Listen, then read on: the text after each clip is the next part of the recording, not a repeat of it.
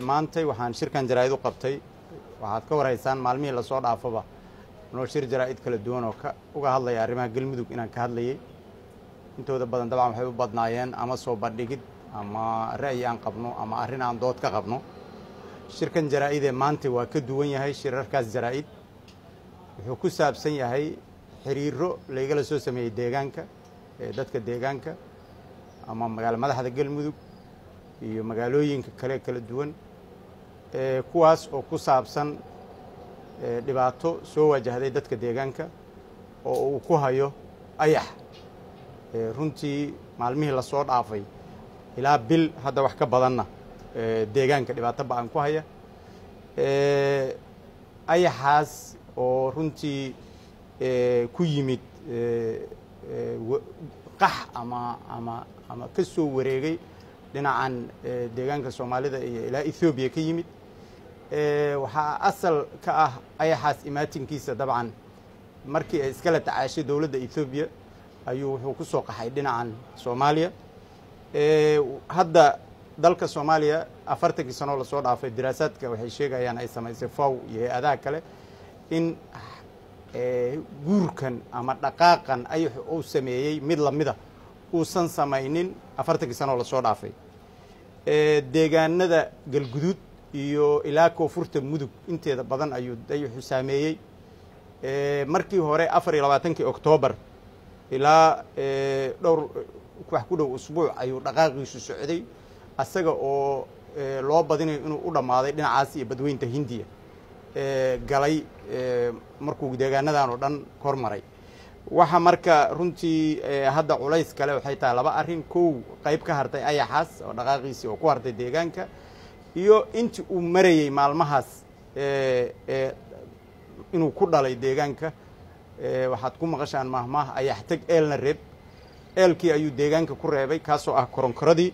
Hadda waxaa marka dadkii iyo deegaankii culays ku haya koronkorada. Oo runtii haddii aan laga gaarin maaragtay wax cagaara iyo wax daaqa iyo waxay ku reebaysa deegaanka aan la arag. Eriyada dhuusamareeb keliya diraasaadka laga sameeyey waxay sheegayaan keliya inta u dhow magaalada dhuusamareeb ee caasimadda galmudug saddex kun oo tan wax ku dhow inuu maalintii ayaxa eriyadaas joogaa uu cuno diraasaadka ay hay'adaha soo saareen.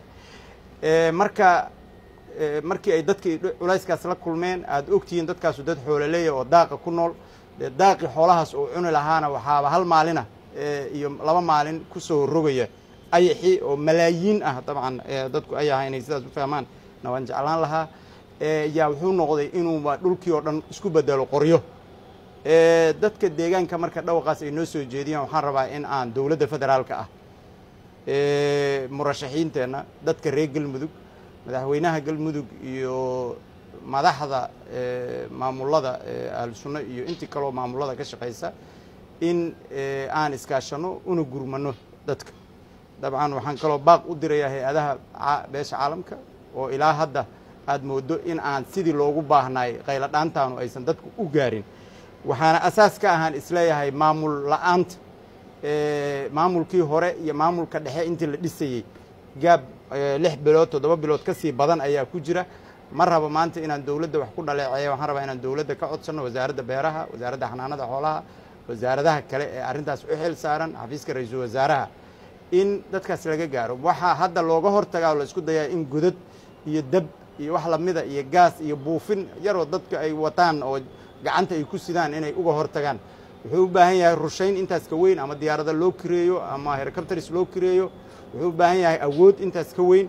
Marka dowladda federaalka ah iyo annagoo murashaxiintii ah iyo ciddii kale oo galmuduga iyo madaxweynihii madaxweyne xaaf iyo maamulka ahlusunna iyo cid kasta iyo reer galmudug waxaan u baahannahay inaan iskaashanno wakhti adag iyo duruuf adagoo dadkeenu ay ku jiraan weye runtiina waxaa run ah haddii aanan hadda weliba asagoo aad muddooyinkan maalmahan oo dhan shaqada waday ayaxu oo koronkorada iyo ayaxeedu oo dee runtii sida ay wax u leefayaan ama u dhibaataynayaan geedaha u feenanayaan aysan ahayn si loo adkaysan karo waxaan ugu baaqayaa inaan iskaashanno arrintaasna dhaqaaq weyn ay ka muujiso dowladda federaalka ahu ma ahan dhaleecayn laakiin ilaa hadda wax tallaabaa iyo wax dhawaaqa oo aan aragnay oo wasaaradihii arrimahaas ay quseeyeen ka hortagii iyo wixii la samayn lahay iyo xataa u diyaargarowga ayaxu markuu hadda waxaan uu samaynaya halleeyo dhammeeyo geedahan iyo waxaan oo dhan dhibka uu geysan doonaa waxay noqon doontaa in xooluhu waxay cunaan waayaan xoolaha dhibka soo gaarana dadkuu ku imaan doonaa marka in ugu yaraan xataa diyaargarow loo sameeyaan codsanaynaa haddii ilaa yidhaahdo beesha caalamka iyo hay'adaha gaar ahaan faw iyo hay'adaha kale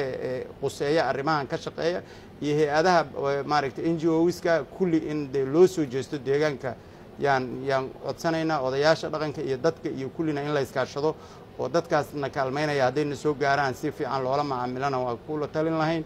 Aad iyo aad baad u mahadsantihiin aniga waxaan shirkan jiraad u qabtana inay ahay qof ka mida reer galmudug danaynaya wanaaggeeda iyo maaragtay horumarkeeda markaan xildhibaanka nimada keliya ku shaqaynayana sidaanaan u shaqayn jiray hadda oon murashaxnimo ahna waan u shaqayn doonaa. Haddii aan wax kursiga helay haddaan waayana reer galmudug mar walba iyo reer soomaaliyaba inaad dantooda ka shaqeeyaan diyaar u ahay. Aad iyo aad baa u mahadsanti